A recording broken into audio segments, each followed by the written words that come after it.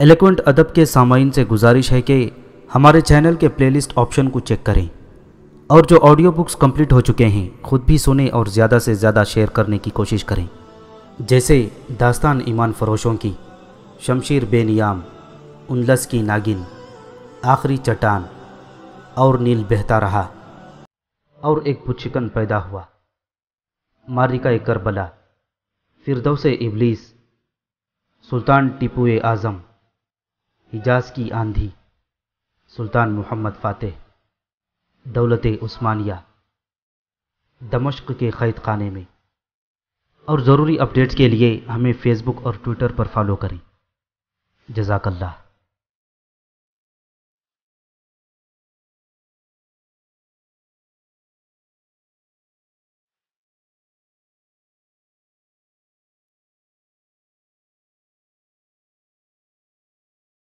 بسم اللہ الرحمن الرحیم۔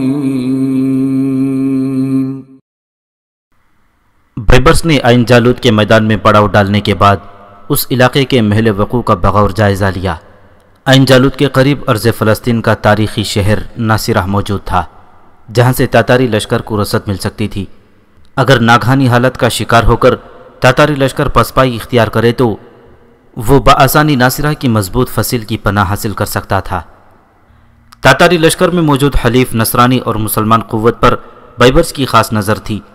نصرانی لشکروں میں نمایاں سلیبی جنگجو تھے، جو کہ نائٹ ہاسپٹلرز اور ٹیمپلرز کہلاتے تھے۔ اس کے علاوہ ارمنی نصرانیوں کی بڑی تعداد بھی موجود تھی، جبکہ مسلمان حلیفوں میں گرجستان کا لشکر نمایاں تھا۔ بائبرز ان کی مجموعی تعداد کے بارے میں مکمل معلومات حاصل کرنے کے لیے بیرو بدل کر خود تاتاری لشکر میں پہنچ گیا تھا۔ تاتاری اور نصرانی منصوبہ بندی اور کئی مفید معلومات حاصل کرنے کے بعد وہ رات کی تاریکی میں اپنے لشکر میں لوٹایا تھا۔ تاتاری لشکر اسلامی لشکر سے قریباً ڈیڑھ گنا زیادہ تھا۔ کتبغا خان نے شاہ فرانس لوئی نہم اور شاہ یروشلم فریڈرک ثانی سے کمک بھیجنے کی استدعا کی تھی۔ شاہ فرانس لوئی نہم ساتویں سلیبی جنگ میں مسلمانوں سے ذلت آمیز شکست کھا کر ایک طویل عرصے سے فلسطینی شہر اکا میں قیام پذیر تھا۔ وہ ضلع تمیز ناکامی کا بوجھ لے کر فرانس واپس نہیں لوٹنا چاہتا تھا۔ وہ کسی ایسے موقع کی تلاش میں تھا کہ جب مسلمان کمزور دکھائی دیں اور وہ عرض مقدس پر قابض ہو جائے۔ اس کی خاموشی کی ایک وجہ ہلاکو خان بھی تھا۔ ہلاکو خان نصرانیت کے لیے جو خدمات انجام دے رہا تھا، وہ نصرانیت کے لیے اجر عظیم سے کم نہیں تھیں۔ وہ خود سامنے آ کر ہلاکو خان کو یہ احساس نہیں دلانا چاہتا تھا۔ کہ وہ بھی ایک بڑی سلطنت کا حکمران ہے۔ ممکن تھا کہ ہلاکو خان اس کی بڑائی برداشت نہ کرتا اور کوئی ایسا اقدام اٹھاتا جو کہ اس کے لیے مناسب نہ ہوتا۔ شاہ یروشلم فریڈرک ثانی بھی اسی قطار میں شامل تھا۔ مجاہد ایوبی شہزادوں سے شکست کھا کر یروشلم کا اقتدار کھو چکا تھا۔ وہ بھی یہی آس لگائے اکا میں مقیم تھا کہ کب حالت پلٹیں تو وہ اپنی کھوئی ہوئی ریاست کا اقتدار واپس حاصل کر سکے۔ شاہ فریڈرک ثانی وہ نصرانی حکمران تھا جس نے ایوبی فرما رواؤں کی ذاتی رنجش اور چپخلش کا فائدہ اٹھا کر خون کا ایک قطرہ بہائے بغیر عرض مقدس پر مکمل تسلط حاصل کر لیا تھا۔ بائبرس پوری ہوشمندی سے حالت پر نظر رکھے ہوئے تھا۔ اس نے سب سے پہلے ناصرہ کی جانب بڑھنے والے راستوں پر عسکری دستے تعینات کر دیے، جنہیں ہدایت کی گئی تھی کہ وہ تاتاری لشکر کو کسی بھی صورت میں ناصرہ میں داخل نہ ہونے دیں۔ دوسرا قدم یہ اٹھایا گیا کہ متوقع کمک کی راہ پر بھی گہری نظر رکھی گئی۔ اس نے آئین جالود کے چاروں جانب اپنے دستوں کا جال یوں پھیلایا کہ باہر سے پہنچنے والی رسد و کمک کی راہ بند ہو جائے تاکہ تاتاری کمک پا کر پرجوش نہ ہو سکیں۔ تیسرا حربہ سابقہ عسکری انداز میں کیا گیا۔ میدان کے کچھ گوشوں میں عسکری تربیت یافتہ مملوک دستوں کو اس انداز سے چھپا دیا گیا تھا کہ وہ آسانی سے دکھائی نہ دیں۔ انہیں ہدایت کی گئی کہ جب تاتاری لشکر ان کے حصار میں پہنچ جائے تو وہ مخصوص بگل کی آواز پر میدان میں اتر آئیں۔ بیبرس نے ہراول دستوں میں ان پرجوش رضا کر مجاہدین کو شامل کر لیا، جو دل و جان سے اللہ کی راہ میں اپنی زندگیوں کے نذرانے پیش کرنے آئے تھے۔ بیبرس کے ساتھی مملوک عمرہ نے ہراول دستوں میں ایسے سپاہیوں کا تقرر نامناسب قرار دیا، مگر بیبرس نے ان کی ڈھارس بندھائی اور کہا کہ وہ یہی چاہتا ہے کہ تاتاری سپاہی اسلامی لشکر کو نامکمل تربیت یافتہ اور غیر موضوع قیاس کریں۔ ایسے میں وہ لاپرواہی کا شکار ہو جائیں گے اور جنگ کو کھیل میں تبدیل کر لیں گے۔ اس طرح ان کی بے فکری کا فائدہ ہمیں حاصل ہوگا۔ مملوک عمرہ بائبرس کی حکمت عملی سے مطمئن نہیں تھے، مگر وہ حالات کی نزاکت کے پیش نظر خاموش رہے۔ انہیں ہر حال میں یہ جنگ جیتنا تھا۔ سلطان ملک المظفر نے انہیں اپنی راہ سے ہٹانے کی جو تدبیر اختیار کی تھی اسے ناکام بنانے کا عزم بھی ان میں موجود تھا۔ بروز جمعہ پندرہ رمضان المبارک چھ سو اٹھاون ہجری کو بائبرس نے جنگ کا نقارہ بجایا اور اپنی صفوں کو میدان میں درست کرنے میں مصروف ہو گیا۔ مسلمان اپنی طاقتور حریف کے سامنے سیسا پلائی دیوار بن کر کھڑے ہو گئی بائبرس نے جنگ سے قبل اسلامی لشکر کے سامنے ایمان افروز تقریر کی۔ اس نے رمضان المبارک میں جہاد کی فضیلت بیان کرتے ہوئے کہا، مسلمانوں تم بڑے خوش نصیب ہو کے تمہیں اس مقدس مہینے میں اپنی جان کا نذرانہ، اپنے پروردگار کو پیش کرنے کا موقع ملا ہے۔ رمضان المبارک میں جہاد کرنا افضل ترین عبادت میں شمار ہوتا ہے۔ مجاہدوں، جو اس میدان میں شہادت پائے گا، وہ اس مقدس مہینے کی بدولت جنت کا حقدار ٹہرے گا۔ اور جو غازی رہے گا، اللہ تعالیٰ اسے فتح و نصرت کا مجدہ سنائے گا۔ بیبرس کے ایمان افروز جملوں نے اسلامی لشکر میں کٹ مرنے کا جوش بھر دیا۔ وہ مقابلے کے آغاز کا بیتابی سے انتظار کرنے لگے ہر سو اللہ اکبر کی صدائیں بلند ہو رہی تھیں۔ دوسری طرف کتبغا خان اتنی جلدی تبل جنگ بجائے جانے پر حیرت کا شکار تھا۔ اسے توقع نہیں تھی کہ اسلامی لشکر جنگ کے لیے اتنی اجلت کا مظاہرہ کرے گا۔ اس نے حقیرانہ انداز میں مسلمانوں کو صفیں سیدھے کرتے ہوئے دیکھا اور اپنے سالاروں کو بھی میدان میں لشکر اتارنے کا حکم دیا۔ تاتاری سپاہی اسلامی لشکر کے مقابل پہنچ کر اسے خونخوار نگاہوں سے دیکھ رہے تھے اسلامی لشکر میں موجود مجاہدین کا رویہ بھی ان سے کچھ مختلف نہیں تھا۔ بائبرس نے اسلامی لشکر طویل انداز میں میدان میں پھیلا دیا تھا تاکہ تاتاری ان کے مقابلے میں بکھر جائیں۔ جنگ کے آغاز سے قبل اپنے سے دو گنا بڑا تاتاری لشکر دیکھ کر مجاہدین کسی قدر مروب دکھائی دیے۔ بائبرس ان کے پریشان چہروں کو دیکھ کر کمزوری بھانپ گیا۔ اس نے ولولہ انگیز انداز میں غزوہ بدر کی مثال دیتے ہوئے ان کی ہمت و جرت بڑھائی اور پھر دونوں لشکر ایک دوسرے سے متصادم ہو گئے۔ جوشیل رضاکار مجاہدین نے شوق شہادت میں اپنی شجاعت و مردانگی کا مظاہرہ کیا کہ بائبرس خود بھی دنگ رہ گیا۔ بائبرس جنہیں نامکمل تربیت یافتہ سپاہی سمجھ رہا تھا، وہ تجربے کار سپاہیوں سے کسی بھی طرح کم نہیں تھی مسلمانوں کا پہلا حملہ اتنا زوردار تھا کہ تاتاریوں کے قدم اکھڑنے لگی قطبہ خان اس انہونی صورتحال سے جہاں متحیر تھا، وہیں اس نے اپنے تجربے کار سالاروں کو تیزی سے بڑھ کر بگڑتی صفوں کو سنبھالنے کی ہدایت کی۔ سالاروں نے آگے بڑھ کر تاتاری لشکر میں پھیلی ابتری کو ختم کرتے ہوئے انہیں دوبارہ منظم انداز میں بڑھایا تو مسلمانوں کے قدم ڈولنے لگے۔ بائبرس ہراول دستوں میں موجود رہ کر مختلف مقامات سے تاتاریوں کو نقصان پہنچاتا رہا۔ مجاہدین نے جب اپنے سالار اعظم کو اپنے ساتھ یوں پرجوش پایا تو ان کے حوصلے بلند ہونے لگے۔ مملوک عمرہ پچھلے دستوں میں موجود تھے۔ بائبرس نے انہیں سختی سے ہدایت کی تھی کہ وہ اشارہ ملنے سے پہلے جنگ میں ہرگز نہ حصہ لیں۔ بائبرس نے جب اسلامی لشکر کو تاتاریوں کے نرغے میں دیکھا تو اس نے منظم انداز میں پسپائی اختیار کرنے کا اشارہ کیا۔ مجاہدین اشارہ پا کر منظم انداز میں پیچھے ہٹنے لگے۔ اسلامی لشکر کی پسپائی دیکھ کر کتبہ خان کے ساتھ ساتھ ہر تاتاری سپاہی کا چہرہ کھل اٹھا۔ وہ زیادہ جوشیلے انداز میں آگے بڑھنے لگے۔ کتبہ خان تاتاری ہراول دستوں کی پیش قدمی کے ساتھ ساتھ دائیں اور دائیں بازو کے دستوں کو بڑھاتا رہا۔ وہ اسلامی لشکر کی کسی بھی جنگی چال سے نمٹنے کے لیے پوری طرح تیار تھا۔ اس نے سالاروں کو ہدایت کی کہ وہ پھیل کر اسلامی لشکر کو حصار میں لے لیں۔ سالاروں نے حکم پا کر تیزی سے اسلامی لشکر کے گرد پھیلنا شروع کر دیا۔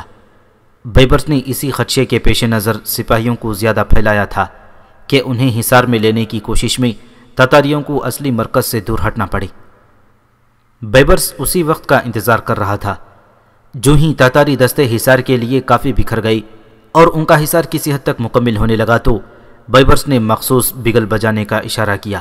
بگل بجتے ہی گھاتوں میں چھپے ہوئے مملوک دستے فلک شکاف آواز میں نعرہ تکبیر بلند کرتے ہوئے باہر نکلے اور تاتاری لشکر کو گھیرے میں لے لیا۔ وہ بری طرح تاتاریوں پر ٹوٹ پڑے تھے۔ کتبہ خان یہ نئی صورتحال دیکھ کر پریشان ہو گیا۔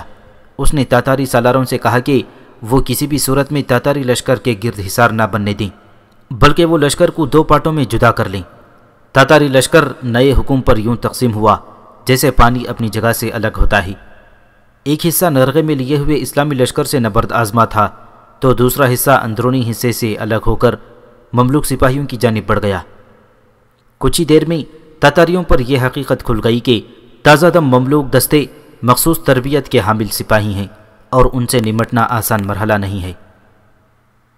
آئین جالود کے میدان میں گھمسان کا رن جاری تھا۔ دونوں طرف سے تابڑ توڑ حملوں کا سلسلہ اتنی تیزی اختیار کر گیا تھا کہ ارض و سما کانپنے لگا۔ بیبرس اس مارکے میں اپنی حیرت انگیز عسکری صلاحیتوں کا مظاہرہ کر رہا تھا۔ ساتھ ہی مملوک عمرہ و سالار بھی بیبرس کے انداز پر داد دیے بنا نہیں رہ پائی بیبرس نے آغاز میں ہی اپنے لشکر کو طویل انداز میں پھیلا دیا تھا، جس کی وجہ سے تاتاری لشکر کو انہیں مکمل طور پر گھیرنے میں مشکل پیش آ رہی تھی۔ بیبرس مختلف حصوں میں گھوڑا دوڑاتا ہوا پہنچ جاتا اور اپنی سپاہیوں کو جم کر لڑنے سے روکتا۔ وہ انہیں ہدایت کرتا کہ وہ جم کر لڑنے کے بجائے اس انداز میں لڑیں کہ تاتاری ان کے پیچھے بھاگ بھاگ کر تھکان اور کوفت کا شکار ہو جائیں۔ کبھی بیبرس کسی حصے کو پسپائی اختیار کرنے کی ہدایت کرتا تو کبھی کسی حصے کو پیش قدمی کا حکم سناتا اسلامی لشکر بیبرس کی متضاد ہدایات پر کسی قدر پریشان بھی ہوا تھا، مگر اس نے کسی بھی مرحلے پر اپنے امیر کی اطاعت سے روگردانی نہیں کی۔ تربیت یافتہ مملوک جانبازوں نے ایسی دلادری کا مظاہرہ کیا کہ میدان جنگ تاتاری لاشوں سے بھرنے لگا۔ رضاکار مجاہدین بھی مملوک سپاہیوں سے کچھ کم نہیں دکھائی دے رہے تھے۔ انہوں نے اپنی جرت و شجاعت کے ایسے رنگ بکھیرے کہ تاتاریوں پر حیبت تاری ہونے لگی۔ یہ بیبرس کا ہی کمال تھا کہ اس نے عام نوجوانوں کو معمولی سی تربیت دے کر ایسا نڈر اور جوشیلا بنا ڈالا تھا کہ وہ اب تاتاریوں کی آنکھوں میں آنکھیں ڈال کر بے خوفی سے لڑ رہے تھے۔ قطبہ خان کے لیے یہ امر بائی سے حیرت تھا۔ وہ مسلمانوں کے کئی لشکروں کو شکست فاش دے چکا تھا اور کئی نامی گرامی سلطان اس کی قیادت میں تاتاری قوت کی مدد سے رن چکے تھے۔ وہ خود بھی یہ سوچنے پر مجبور ہو گیا تھا کہ یہ لشکر مسلمانوں کا ہرگز نہیں ہو سکتا، کیونکہ اسے آج تک مسلمانوں کی کم ہمتی اور بزدلی سے ہی پالا پڑا تھا۔ وہ احتیاط و تدبیر سے کام لیتے ہوئے مسلسل دفاعی جنگ لڑنے پر مجبور ہو گیا۔ بیبرس کی مخصوص عسکری جال میں تاتاری لشکر بری طرح پھنس چکا تھا۔ اسے صاف دکھائی دے رہا تھا کہ اب تاتاری لشکر کو حزیمت سے نہیں بچایا جا سکتا۔ اس نے اپنے سالاروں کو ہدایت کی کہ وہ پسپائی اختیار کرتے ہوئے کسی بھی طرح تاتاری دستوں کو اسلامی لشکر کے نرغے سے نکال لے جائے قطبہ خان کی یہ ہدایت منگول سالاروں کو تو سمجھ آ گئی، مگر حلیف سلیبی جنگجوؤں پر اس کا بہت برا اثر پڑا۔ انہوں نے اسے فرار سے تعبیر کیا۔ جنگ کا نقشہ سلیبی حلیفوں کی سمجھ میں بخوبی آنے لگا۔ انہوں نے منظم انداز میں پسپائی اختیار کرنے کے بجائے فرار کی راہ اختیار کرنے کی کوشش کی۔ ان کی اس کوشش نے تاتاری لشکر کی صفوں میں زبردست انتشار پیدا کر دیا۔ قطبہ خان نصرانی حلیفوں کی نادان حرکت پر پریشان ہو گیا۔ مجاہدین نے سلیبی مفروروں کے باعث پیدا ہو جانے والے انتشار سے بھرپور فائدہ اٹھایا اور تاتاری سپاہیوں کو گاجر مولی کی طرح کاٹنے لگے تاتاری اپنے حلیف مفروروں کے درمیان الجھنے لگے قطبہ خان غیر متوقع صورتحال پر بری طرح بوکھلا اٹھا۔ اس نے غسیلے لہجے میں سلیبی حلیفوں کو تنبیہ کی، مگر دیر ہو چکی تھی۔ جتنی دیر میں وہ سنبھلتے اسلامی لشکر جارحانہ انداز میں تاتاریوں پر ٹوٹ پڑا۔ بیبرس نے اس موقع سے بھرپور فائدہ اٹھایا۔ اسلامی لشکر کی تیز و تند حملوں نے مختصر وقت میں تاتاری لشکر کے پرخچے اڑا کر رکھ دیے تھے۔ گرجستانی اور ارمنی پیدل دستوں کو مملوک جانبازوں نے بری طرح روند کر رکھ دیا تھا۔ دوپہر ڈھلتے ہی جنگ فیصلہ کن مرحلے کی جانب بڑھ گئی۔ بیبرس کی حکمت عملی رنگ لائی اور ایک دن کی مختصر جنگ میں تاتاریوں کو شکست فاش ہوئی۔ تاتاری لشکر میں موجود تمام علم گرا دیے گئے۔ مجاہدین اسلام نے وحشی اور صفاق تاتاریوں سے اپنے عزیزوں کی ہلاکت کا بھرپور بدلہ لیا۔ ڈیڑھ لاکھ کے قریب تاتاری لشکر کو نیست و نابود کر دیا گیا۔ قطبہ خان کو اہم عمائدین کے ہمراہ زندہ گرفتار کر لیا گیا۔ تاتاریوں کی عین جالوت میں شکست سے مسلمانوں کے دلوں پر چھائی ہوئی تاتاری حیبت پر مہلک ضرب لگی تھی۔ پچھلے چالیس برس سے فتح و کامرانی سے ہمکنار ہونے والے تاتاری عمرہ کو اپنی شکست پر گہرا تعجب تھا۔ قطبہ خان گرفتار ہونے کے بعد اپنی عمرہ سے مسلسل یہی کہتا دکھائی دیا کہ جاودانی آسمان کی قسم اس لشکر کا عرض انسانی سے کوئی تعلق نہیں، یہ ضرور کوئی آسمانی لشکر ہے۔ بائبرس جنگ کے فیصلے پر بے حد مسرور اور پر اعتماد دکھائی دیا۔ اس نے اپنی سپاہیوں کو حکم دیا کہ جو تاتاری ہتھیار پھینک دے، اسے نقصان نہ پہنچایا جائے۔ بلکہ ان کی مشکیں کس دی جائیں۔ اہم تاتاری سالاروں کی گرفتاری کے بارے میں اس نے یہ حکم دیا کہ انہیں پابا زنجیر اس کے سامنے پیش کیا جائے۔ مملوک دستے مال غنیمت کی جانب متوجہ نہ ہوں۔ یہ کام رضاکار مجاہدین کو ہی کرنے دیا جائے۔ ایک مملوک امیر نے گرفتار تاتاری سالاروں کے بارے میں دریافت کیا تو بائبرس نے صاف لفظوں میں کہا کہ ان کے بارے میں روزہ افطار کرنے کے بعد فیصلہ کیا جائے گا۔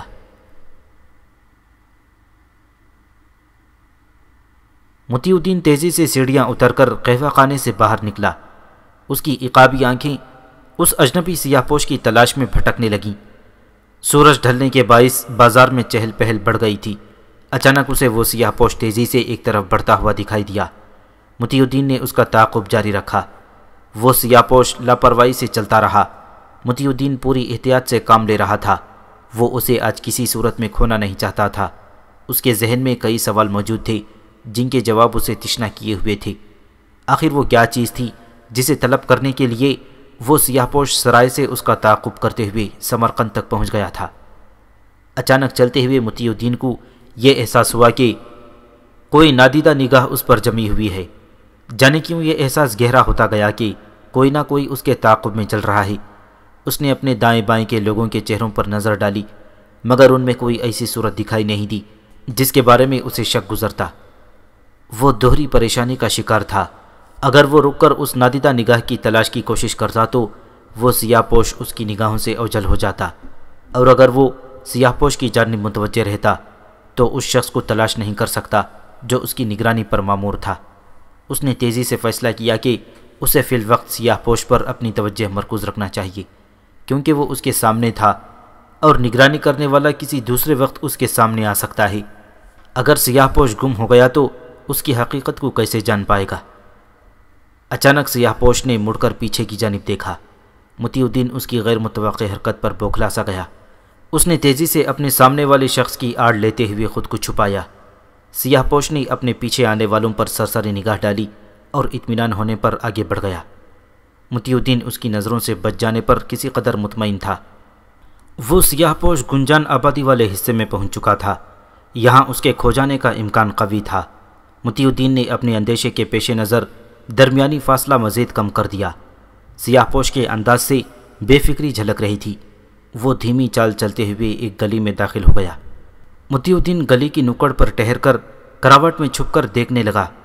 وہ کوئی بند گلی معلوم ہوتی تھی۔ سیاہ پوش کچھ دور جا کر ایک دروازے کے سامنے ٹہر گیا۔ اس نے گلی کے دہانے کی جانب ایک نگاہ ڈالی۔ متی الدین تیزی سے پیچھے ہٹ گیا۔ لمحہ بھر کے بعد متی الدین نے دوبارہ گلی میں جھانکا تو اسے وہ سیاہ پوش دروازے میں داخل ہوتا ہوا دکھائی دیا۔ اس کا پھڑ پھڑاتا ہوا لباس پل بھر میں اس کی نگاہوں سے اوجھل ہو گیا۔ متی الدین گلی کی نکڑ پر کھڑا یہ سوچتا رہا کہ اسے اب کیا کرنا چاہیے۔ متی الدین سیاہ پوش کی پناہ گاہ تک تو پہنچ گیا تھا، مگر آگے کی کوئی راہ سوچ نہیں رہی تھی۔ وہ ٹہلتے ہوئے انداز میں گلی میں داخل ہو گیا۔ وہ اس مکان پر ایک نگاہ ڈالنا چاہتا تھا۔ چلتے چلتے وہ مکان کے بالکل قریب پہنچ گیا۔ لکڑی کا بھاری بھرکم دروازہ اسے دکھائی دیا جہاں کچھ دیر پہلے سیاہ پوش داخل ہوا تھا۔ اس نے مکان کی دیواروں پر نگاہ ڈالی جو کہ کافی بلند تھیں۔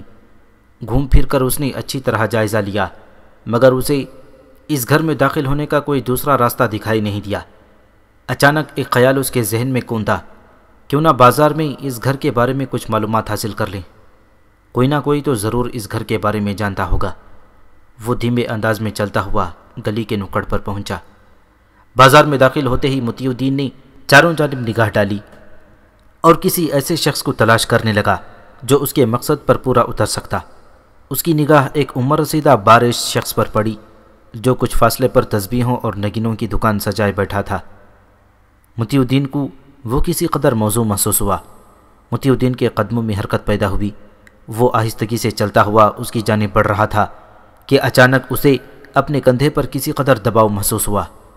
وہ تیزی سے مڑا۔ وہ ایک نوجوان تھا جس کے چہرے پر داڑھی مونچ کے روئیں نمایاں دکھائی دے رہے تھے متی الدین نے الجھے ہوئے انداز میں اس کی جانب دیکھا۔ اس نوجوان کا ہاتھ متی الدین کے کندھے پر ابھی تک دباؤ ڈالے ہوئے تھا۔ کیا بات ہے؟ متی الدین نے نرمی سے دریافت کیا۔ تمہیں اس گھر کے بارے میں کچھ معلوم کرنا ہے شاید۔ اس نوجوان نے پراسرار انداز میں کہا۔ متی الدین نوجوان کے غیر متوقع جواب پر شست رہ گیا۔ اس کے دل و دماغ میں آندھیاں سی چل رہی تھیں۔ متی الدین سوچ رہا تھا کہ یہ کیا ماجرا ہے۔ ہر موڑ پر اسے لگاتار عجیب اور پریشان کن حالات سے پالا پڑ رہا ہے۔ ملک المظفر کی رضامندی پا کر علاؤ الدین لولو کا چہرہ مسرت سے سرشار ہو گیا۔ وہ جلد از جلد عرض فلسطین پہنچ کر بائبرس پر قابو پانے کے خواب دیکھ رہا تھا۔ اس کے ذہن میں کئی منصوبوں کے تانے بانے تشکیل پا رہے تھے دوسری صبح اس نے سلطان ملک المظفر سے نامہ شاہی حاصل کر لیا، جس میں بائبرس کے منصب سالاری سے معذول کا حکم سلطانی مہر کے ساتھ تحریر تھا۔ نامہ پاتے ہی وہ قاہرہ سے نکلا اور تیز رفتاری سے عرض فلسطین کی جانب بڑھ گیا۔ وہ ولایت حلب کے حصول کے لیے دیوانہ ہو چکا تھا۔ اس کے ذہن میں پنپنے والی خواہش کی تکمیل کے جوش نے اس کے جسم میں جیسے شرارے بھر دیے تھے۔ وہ ہوا سے باتیں کرتا ہوا اثر کے وقت عین جالود جا پہنچا۔ وہاں پہنچ کر جو منظر اس کی آنکھوں نے دیکھا، وہ اس کے لیے بے حد تعجب انگیز تھا۔ تاتریوں کی کٹی پھٹی لاشوں سے اٹا ہوا میدان بیبرس کی فتح کا چیخ چیخ کر اعلان کر رہا تھا۔ وہ یہ سوچ بھی نہیں سکتا تھا کہ بیبرس جیسا معمولی سالار تاتاریوں کا ایسا بھیانک حشر کر سکتا ہے میدان جنگ کی حالت زار دیکھنے کے بعد علاؤدین لولو بیبرس کی شخصیت سے خاصا مروب دکھائی دینے لگا۔ مملوک دستے چوکس انداز میں پہرا دے رہے تھے جبکہ مجاہدین مال غنیمت اکٹھا کرنے میں مصروف تھے۔ اس نے ایک سپاہی سے بیبرس کے بارے میں دریافت کیا، تو اس نے بتایا کہ وہ اپنے خیمے میں موجود ہے۔ مختلف سپاہیوں کی رہنمائی میں علاؤدین لولو بیبرس کے خیمے تک جا پہنچا۔ بائبرس خیمے میں اپنے ساتھی مملوک عمرہ کے ہمراہ موجود تھا۔ علاؤدین کی صورت دیکھتے ہی وہ سب لوگ سمجھ گئے کہ وہ کیا پیغام لایا ہوگا۔ علاؤدین نے آگے بڑھ کر سب سے مصافحہ کیا اور انہیں فتح پر مبارکباد دی۔ کہو علاؤدین اچانک آمد کی ضرورت کیوں پیش آ گئی؟ ایک مملوک امیر نے پوچھا۔ میں سلطان ملک المظفر کا حکم لے کر آیا ہوں۔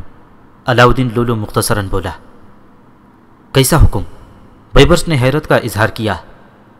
سلطان ملک المظفر نے بیبرس کی پیش قدمی کے اقدام کو بلاد مصر کے تحفظ کے لیے سخت خطرہ اور معاہدے کی خلاف ورزی قرار دیا ہے۔ جب بیبرس پر یہ واضح کر دیا گیا تھا کہ وہ تاتاری لشکر سے جان بوجھ کر مبازرت نہیں کرے گا، تو اس نے عرض فلسطین کی جانب کیوں کوچ کیا؟ لہٰذا بیبرس کو سرکشی اختیار کرنے کے باعث منصب سالاری سے معذول کر دیا گیا ہے اور مجھے بیبرس کو پابا زنجیر دربار میں پیش کرنے کا حکم دیا ہے۔ علاؤدین جھجکتے ہوئے بولا، تمہارا دماغ تو نہیں چل گیا، تم دیکھ نہیں رہے کہ بیبرس نے بلاد مصر کے لیے کیا خدمت انجام دی ہے؟ تاتاریوں کو شکست فاش دینا کوئی معمولی بات نہیں ہے۔ ہم اپنے سالار کی ایسی بے حرمتی برداشت نہیں کریں گے۔ ایک مملوک امیر تنک کر بولا، مجھے یہ بتانے کی ضرورت نہیں ہے کہ ہم سب لوگ دربار سلطانی کے اطاعت گزار ہیں اور احکامات سلطانی کی بجا آوری ہمارا فرض ہے۔ علاؤدین نے یہ الفاظ چبا کر ادا کیے تھے۔ ہم سب سلطان ملک المظفر کے اس حکم کی پوشیدہ وجہ اچھی طرح جانتے ہیں۔ وہ بیبرس کے اس کارنامے کا اعزاز خود حاصل کرنے کا متمنی ہے۔ دربار میں بیٹھ کر ایسے اعزاز حاصل نہیں ہوا کرتے۔ ان کے لیے میدان جنگ میں اتر کر جوان مردی کا مظاہرہ کرنا پڑتا ہے۔ سلطان کو سمجھ لینا چاہیے کہ اب ایسا ہرگز نہیں ہوگا۔ جب ہم لوگوں نے قیادت کے لیے اسے دعوت دی تھی، تو اس نے کمال مکاری سے اپنا پہلو بچا لیا تھا اور ہم لوگوں کو آگے کیا تھا تاکہ اگر شکست ہو تو سلطان کا دامن صاف رہے اور ہم اپنی جان سے ہاتھ دھو بیٹھیں۔ اور اگر فتح نصیب ہو تو ہمیں سرکشی اور بغاوت جیسے گھٹیا الزامات میں ملوث کر کے اپنی راہ سے ہٹا دیا جائے۔ ایک مملوک امیر تلخی سے بولا، تمہیں منہ کھولنے سے پہلے اپنی بات تول لینا چاہیے تھی۔ تم شاید اس حقیقت سے غافل ہو چکے ہو کہ سلطان ملک المظفر بلاد مصر کا منتخب حکمران ہے۔ اس کے پاس طاقت اور اختیار ہے۔ وہ چاہے تو مملوک دستوں کو تمہاری سرکوبی کے لیے روانہ کر کے تمہارا نام و نشان مٹا ڈالے۔ بغاوت اور حکومتولی کر کے اپنی جانوں کو خطرے سے دو چار مت کرو۔ علاؤدین بگڑ کر بولا، تم ہمیں دھمکانے کی کوشش مت کرو علاؤدین ورنہ اچھا نہیں ہوگا۔ ایک مملوک امیر ہتے سے اکھڑتا ہوا بولا، جاؤ اپنے سلطان سے کہہ دو کہ ہم سب تہ دل سے بیبرس کے محافظ ہیں اور سلطان ملک المظفر کو موسا بن نسیر کی کہانی کو دہرانے نہیں دیں گے۔ ایک مملوک امیر نے کہا بیبرس نے اپنے ساتھیوں کو پرسکون رہنے کا اشارہ کیا اور خود علاؤدین کی جانب متوجہ ہوا۔ علاؤدین، مجھے سلطانی حکم کا بے حد احترام ہے، مگر حالات اس قدر مغدوش جہد اختیار کر چکے ہیں کہ وقت کا تقاضا یہی ہے کہ جس کام کا آغاز کیا جا چکا ہے، اسے پایا تکمیل تک پہنچایا جائے۔ ایسا کرنا بلاد مصر اور مسلمانوں دونوں کے مفاد میں ہے۔ ابھی کچھ ایسے اقدامات اٹھانا باقی ہیں کہ ہلاکو خان کی واپسی پر تاتاری خطرے کے تدارک کا بھرپور انتظام کیا جائے۔ بائپرس میں تمہاری بات سے پوری طرح متفق ہوں، مگر میں سلطانی حکم کے آگے کیا کر سکتا ہوں؟ علاؤدین لولو نے پینترا بدلتے ہوئے کہا، تم واپس جاؤ، سلطان ملک المظفر کو سب سے پہلے تاتاریوں کی شکست کی نوید سناؤ، اور اس کے بعد میری جانب سے معذرت پیش کرو کہ میں سلطان کو مطلع کیے بغیر روانہ ہونے پر بے حد نادم ہوں، اور استدعا کرتا ہوں کہ وہ اپنی اعلیٰ ظرفی کا مظاہرہ کرتے ہوئے حکم پر نظر ثانی فرمائیں میں ہمیشہ ریاست کا فرما بردار رہا ہوں اور آئندہ بھی وفادار رہنے کا حلف اٹھاتا ہوں۔ سلطان محترم نے جس فرض کا بوجھ میرے کندھوں پر ڈالا تھا، میں نے بہت میں باری تالا اس کی بجا اوری میں کسی کوتا ہی سے کام نہیں لیا اور اب میں بلاد شام کی جانب بڑھ رہا ہوں تاکہ انہیں تاتاری آفت سے پاک کر کے سلطان محترم کی ریاست میں شامل کر کے ان کی سلطنت کا دائرہ وسیع کر سکوں۔ میرا یوں واپس لوٹنا ممکن ہے کہ اس سلطان کو ناگوار گزرے۔ علاؤدین نے مختصراً کہا، تمہاری فصاحت و بلاغت کس دن کام آئے گی؟ بائبرس ہنس کر بولا علاؤدین بائبرس کی بات سن کر سوچ میں پڑ گیا۔ اس کا ذہن تیز رفتاری سے نئی صورتحال کا جائزہ لینے لگا۔ اگر وہ کسی حربے سے بائبرس کو قاہرہ ساتھ لے جانے میں کامیاب ہو بھی گیا تو عین ممکن تھا کہ تاتاریوں کی شکست کی خبر سن کر سلطان ملک المظفر کا سارا غصہ دھرا رہ جاتا۔ اور وہ بائبرس کی سرکشی کو نظر انداز کر دیتا۔ ایسی صورت میں حلب کی ولایت تو اس کے ہاتھ سے نکل جاتی۔ لہٰذا اس نے فوراً فیصلہ کر لیا کہ وہ حلب کی ولایت دوسرے طریقے سے بھی حاصل کر سکتا ہے۔ میں اس معاملے میں تمہاری مدد کرنے کو تیار ہوں۔ میں اپنی پوری کوشش کروں گا کہ سلطان ملک المظفر کے ذہن پر چھائی ہوئی غلط فہمی کو رفع کر دوں۔ مگر میری ایک شرط ہے۔ کیسی شرط؟ بیبرس اس کی بات پر دنگ رہ گیا۔ سلطان ملک المظفر نے حلب کی ولایت تمہیں دینے کا وعدہ کیا تھا۔ اگر وہ تم مجھے بخش دو، تو میں تمہیں اتاب سلطانی سے ہمیشہ کے لیے محفوظ کر دوں گا۔ علاؤدین کی شرط سن کر بیبر سمیت تمام عمرہ اپنی جگہ متحیر رہ گئے۔ بیبرس کچھ دیر تک سوچتا رہا، پھر گہری سانس لے کر گویا ہوا علاؤدین تمہیں شاید میرے بارے میں اندازہ لگانے میں غلط فہمی ہوئی ہے۔ میں حلب کی ولایت کا کبھی حریص نہیں تھا۔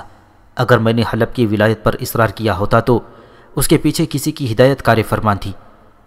اور میں اب بخوبی سمجھ چکا ہوں کہ اس ہدایت کے پیچھے کیا راز تھا۔ تم بے فکر رہو، میں حلب کی ولایت کا حق تمہیں تفویض کر دوں گا۔ تم سلطان ملک المظفر کے پاس جاؤ اور اپنا کام مکمل کرو۔ میں تمہارے پیچھے ہی تاتاری قیدی اور مال غنیمت روانہ کر رہا ہوں۔ مجھے تم پر بھروسہ ہے کہ تم جو کہتے ہو کر گزرتے ہو، مگر تمہیں کچھ اور کہنے کی ضرورت نہیں۔ میرا دل صرف مسلمانوں کے لیے دھڑکتا ہے۔ اگر میں نے سلطان کی حکومت دولی کی، تو اس کے پیچھے بھی یہی جذبہ کار فرمان تھا۔ میں عالم اسلام کے ہر اس دشمن کو مٹا دینا چاہتا ہوں، جو اپنے دل میں ناپاک عزائم چھپائے ہوئے ہے اور لگاتار مسلمانوں کی بیخنی میں مصروف ہے۔ بیبرس نے ٹھوس لہجے میں اسے یقین دہانی کرائی۔ علاؤدین لولو ولایت حلب اپنے ہاتھ میں دیکھ کر بے حد مسرت دکھائی دیا۔ اس نے اسلامی لشکر میں رہ کر روزہ افطار کیا اور مغرب کی نماز کی ادائیگی کے بعد قاہرہ کی جانب روانہ ہو گیا۔ وہ جلد از جلد قاہرہ پہنچ کر تتاریوں کی شکست کی خوشخبری سلطان ملک المظفر کو سنانا چاہتا تھا۔ علاؤدین کی روانگی پر بیبرس کے ساتھی مملوک عمرانی اس پر حقارت بھری نگاہ ڈالی اور اسے خود غرض، حریص اور کمینہ قرار دیا گیا۔ اگلے دن تاتاری سالار اعظم قطبغہ خان کو اس کے ساتھیوں کے ساتھ بیبرس کے سامنے پیش کیا گیا۔ تاتاری قیدیوں کو مال غنیمت سے ملنے والی بیڑیاں پہنائی گئی تھیں۔ ان بیڑیوں کا بوجھ کئی نامور فرزندان اسلام نے اٹھایا تھا، جن میں عباسی خلافت کا ولی عہد محمد ابو بکر بھی شامل تھا۔ قطبقہ خان نے یہ کبھی گمان نہیں کیا تھا کہ ایک دن یہی بیڑیاں اس کے جسم کی زینت بنیں گی۔ قطبقہ خان کے ساتھ تاتاری ریاست کے کئی مسلمان حلیف بھی گرفتار کیے گئے تھے۔ ان کے بارے میں بیبرس نے صاف الفاظ میں ہدایت کی تھی کہ یہ لوگ عالم اسلام پر ڈھائی جانے والی قیامت میں برابر کے شریک کار ہیں، لہٰذا انہیں بغیر کسی مہلت کے تحت کر لیا جائے۔ کتبغا خان کو جب بیڑیوں میں بیبرس کے پاس لایا گیا تو اس کی گردن تکبر سے اکڑی ہوئی تھی اور چہرے سے حقارت ٹپک رہی تھی۔ بیبرس کی نظر جب اس پر پڑی تو اس کے چہرے کی رگیں تن سی گئی تھیں۔ وہ کتبغا خان کی درندگی اور مظالم سے بخوبی واقف ہو چکا تھا۔ نصرانیت کی حمایت میں کتبغا خان تمام انسانی حدود پار کر چکا تھا۔ وہ اکڑی گردن سے یوں کھڑا رہا جیسے اسے بیبرس کی کوئی پرواہ نہیں اور نہ ہی اسے اپنی شکست پر کوئی ندامت ہے۔ تاتاری سالار، اتنا تو تم جانتے ہو کہ تمہارے ساتھ کیا سلوک کیا جانے والا ہے۔ بیبرس نے دریافت کیا۔ میں جانتا ہوں کہ تم پہلے سلطانوں کی مانند سلا رحمی کا مظاہرہ کر کے مجھے متاثر کرنا چاہتے ہو۔ مگر میں تمہاری سلا رحمی کے مقابلے میں موت کو ترجیح دوں گا، کیونکہ میں یسوع مسیح کا سچا پیروکار ہوں اور مقدس سلیب کی عظمت کی بحالی کے لیے اپنی جان کا نذرانہ پیش کر کے ہمیشہ کے لیے سرخ رو ہو جاؤں گا۔ کتبغا خان متکبرانہ لہجے میں بولا، تمہارا اندازہ غلط ہے کتبغا خان، بیبرس دھیمے لہجے میں مسکرا کر کہا، میں نے تمہارے جرائم کی پاداش میں موت کی سزا تجویز کی ہے، ایک ایسی دردناک موت جس کا ذائقہ چکھتے ہوئے تمہیں جلدی یہ احساس ہو جائے گا کہ موت کس چیز کا نام ہے اور یہ جب تاری ہوتی ہے تو انسان اس کے سامنے کیسے بے بسی کی تصویر بن کر رہ جاتا ہے۔ مسلمان سالار کتبغا خان حقارت سے ہنستا ہوا بولا، تم شاید یہ نہیں جانتے کہ ہم لوگ ساری زندگی موت کی آنکھوں میں آنکھیں ڈال کر گزارتے ہیں۔ بچپن سے لے کر آخری سانس تک موت سے کھیلتے رہنا ہمارا مرغوب مشغلہ ہے۔ لیکن جو موت میں نے تمہارے لیے تجویز کی ہے، اس کے بارے میں تم کچھ نہیں جانتے۔ تم نے صرف موت کا نام سنا ہے، اسے قریب سے محسوس نہیں کیا۔ بیبرس نے اپنے سپاہیوں کی جانب دیکھا اور انہیں ہدایت کی۔ تم میں سے کوئی ایسا سامنے آئے جو ایک ہی جھٹکے میں موت کے حریث اس تاتاری کا بایاں بازو کندھے سے نکال دے۔ سپاہیوں میں ایک قوی حکل جوان آگے بڑھا اور اس نے کتبغا خان پر نفرت انگیز نگاہ ڈالتے ہوئے ایسے جھٹکے دیے کہ کتبغا خان کا بازو پہلو میں جھولنے لگا۔ درد کی تیز لہر کتبغا خان کے جسم میں دوڑنے لگی۔ اس نے کمال ضبط کا مظاہرہ کیا اور منہ سے آہ تک نہ نکالی۔ البتہ اس کے ماتھے پر پسینے کی بوندیں چمکنے لگیں بیبرس نے کچھ دیر بعد کتبغا خان کا دوسرا بازو بھی نکلوا دیا۔ اس کے دونوں بازو جھول رہے تھے۔ اس کے بعد بائبرس نے دوسرا حکم دیا کہ دو سپاہی تلوار کے دستے سے اس کے کندھوں پر ضربے لگائیں۔ ضربوں کا سلسلہ جب شروع ہوا تو کتبغا خان کے صبر و برداشت کی حد ٹوٹ گئی۔ اس کے منہ سے ہلکی ہلکی کراہیں نکلنے لگیں۔ کچھ دیر تک یہ سلسلہ جاری رکھا گیا۔ مملوک عمرہ خاموشی سے بیٹھے بیبرس کی کارروائی دیکھتے رہے۔ بیبرس نے مختلف حربوں سے کتبغا خان کے مضبوط چہرے کو وحشت زدہ بنا ڈالا تھا۔ اسے جب لایا گیا تھا تو وہ بے حد پر اعتماد دکھائی دے رہا تھا۔ مگر اب اس کے چہرے پر تکلیف کے آثار نمایاں تھے۔ اس نے ساری توانائی مجتمع کی۔ اور بیبرس کی جانب دیکھتے ہوئے کامتی ہوئی آواز سے بولا، سالار، کیا ہوا کہ مسلمانوں نے میدان جیت لیا؟ کیا منگولوں کی گھوڑیوں نے بچے جننا چھوڑ دیے ہیں یا ان کی عورتیں بانج ہو گئی ہیں؟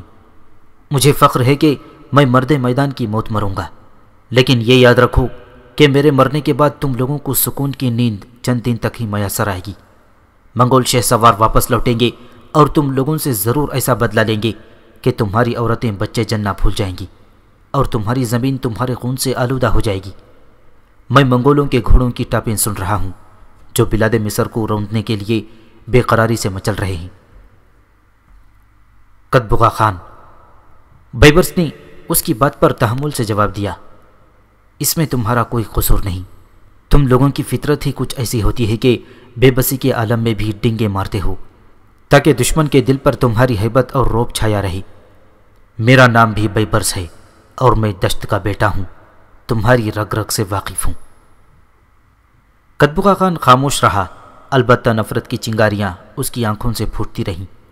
بیبرس نے حکم دیا کہ اسے لے جاؤ اور اس کا سر قلم کر کے مال غنیمت کے ساتھ قاہرہ بھجوا دو، تاکہ وہ پناہ گزین مسلمان اپنی آنکھوں سے دیکھ لیں کہ میں نے ان کے اپنوں کے قاتلوں کے ساتھ کیا سلوک کیا ہے۔ اور اس کے تمام رفقا کو بابا جولا قافلے کے ساتھ روانہ کر دو۔ ان کے بارے میں سلطان ملک المظفر خود فیصلہ کر لیں گے۔ ان تاتاری قیدیوں میں کئی معزز سردار اور قدبغا خان کا جوان بیٹا بھی شامل تھا۔ بیبرس کو تاتاریوں کے ڈھائے جانے والے لرزہ خیز مظالم پر اتنا غم و غصہ تھا کہ اس نے ذرا سا بھی اکڑنے یا تکبر کا مظاہرہ کرنے والے تاتاریوں کے ہاتھ پاؤں توڑوا ڈالے تھے۔ این جالود کے میدان میں بیبرس نے تاتاریوں کو پہلی فیصلہ کن شکست سے دوچار کیا تھا۔ نصف صدی سے ناقابل تسخیر رہنے والے تاتاری بیبرس کی حکمت عملی کے سامنے زیادہ ٹہر نہ سکے۔ اور صرف ایک دن میں ہی مارکے کا فیصلہ ہو گیا۔ اس مارکے کا شمار تاریخ کی فیصلہ کن جنگوں میں ہوتا ہے۔ تبصرہ نگار لکھتے ہیں کہ اگر خدا نہ خواستہ اس لڑائی میں مسلمانوں کو شکست ہو جاتی، تو پوری دنیا میں ان کے لیے کوئی جائے پناہ باقی نہیں تھی۔ ہر طرف دشمنان اسلام منہ کھولے بیٹھے تھے۔ مسلمانوں کی تہذیب و تمدن اور تاریخ و ثقافت بالکل برباد ہو جاتی۔ بغداد کے بعد علم کا سر چشمہ قاہرہ تھا، جہاں علمی ذخیروں کے انبار موجود تھے۔ بغداد کے علمی ذخیرے تو دریائے دجلہ و فرات میں بہا کر ضائع کر دیے گئے تھے اور قرطبہ کے اسلامی علمی خزانوں پر نصرانی قابض ہو چکے تھے۔ تاتاریوں کی شکست کی خبر جنگل کی آگ کی طرح عرض فلسطین میں پھیل گئی۔ جب اکا میں شاہ فرانس لوئی نہم کو یہ اطلاع ملی تو وہ دیوانہ سا دکھائی دیا اور شاہ فریڈرک ثانی تعصف سے ہاتھ ملتا رہا۔ نصرانیوں نے اس خبر پر سوگ منایا اور اپنے بہادر اور مضبوط سپاہی قدبغا خان کو سیاہ لباس پہن کر خراج عقیدت پیش کیا۔ نصرانی اس کی خدمت نصرانیت پر کافی عرصے تک اس کے حق میں صدائیں بلند کرتے رہی